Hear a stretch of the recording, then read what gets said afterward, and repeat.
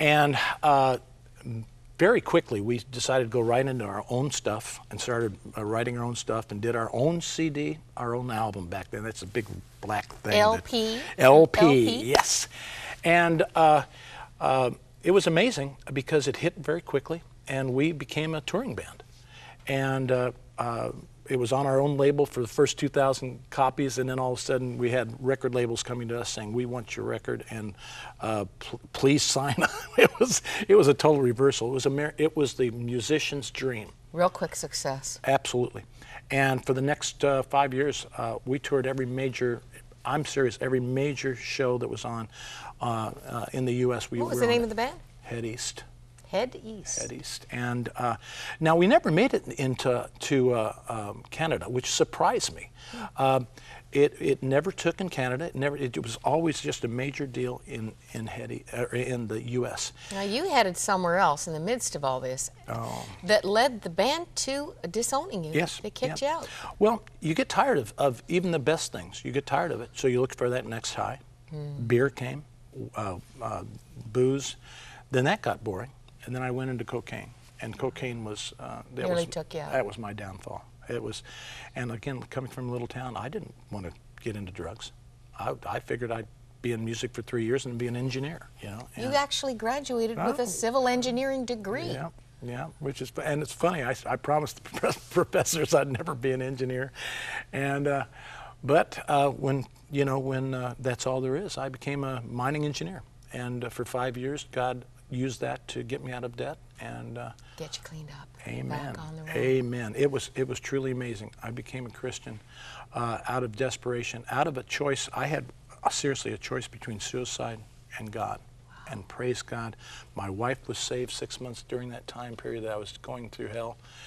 And she kept trying to tell me about Jesus, and I'd say, oh, "Get up! No, I don't want to be a Christian. I, that's no fun. You can't have any fun. You be a Christian, you got to wear a big black robe and carry around a 50-pound Bible and memorize the list of don'ts, and you know that's what I thought, and that's what all my friends thought. And when I got But you saw the change in her. Oh, it, but it was disgusting. She was having way too great a life, you know. and uh, but finally, I said, you know, I, I've lost everything, God, I, and take me, uh, take me, and He did. He did, and it changed my life. Wow. And look at this. This is the first song, the title song uh, from Grafting. Uh, you call this a family adventure. I do. Your, your son-in-law wrote that song? My son-in-law produced and wrote that and song. produced. Th- This is just, well, I'm going to, okay.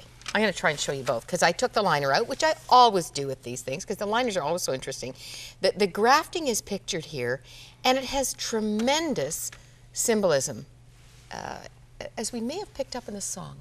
Tell us what grafting is about. I have five grandkids. Five. Five.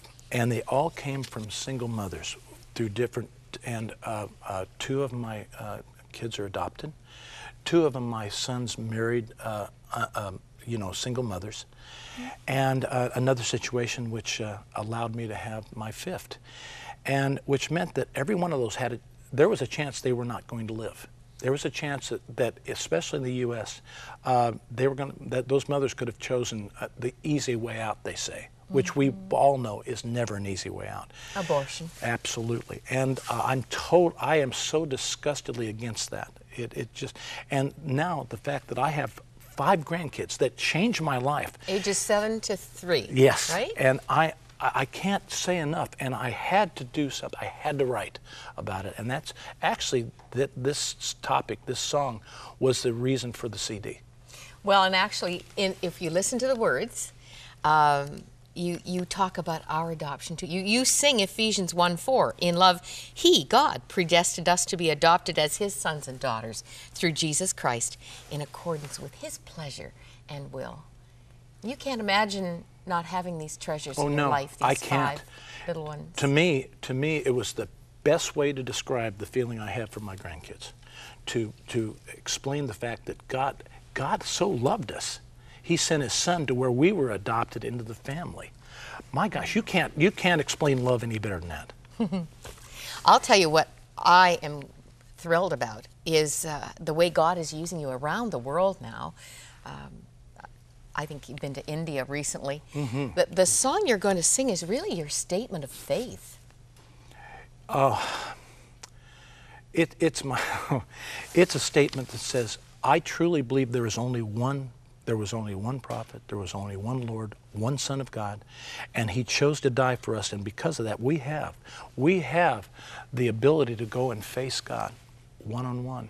And He doesn't see us, praise God, because if He did, we would be tossed into hell quickly, no matter what we did. We'll never be good enough. But because Jesus Christ, His Son, died on the cross for us and His blood was shed for us, we're covered. Jesus Christ, no other.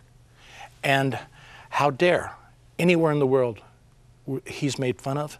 How dare anywhere in the world uh, we are, uh, the Christians are made fun of, and we just sit back and take it. And I, it's driving me crazy. I've seen it for 20 years, and it's spreading all over the world. It scares me. And I wanted to write a song about the fact, the true fact, the, the, the honesty that I believe that hasn't been said enough. And uh, it came out in a song which Dan also wrote, uh, called Your son-in-law. yes, called Only Men.